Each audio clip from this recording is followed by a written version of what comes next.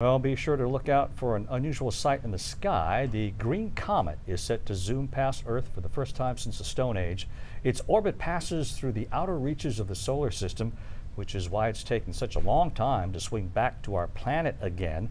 The comet will make its closest pass to Earth between today and tomorrow. Look for a faint green smudge near the North Star.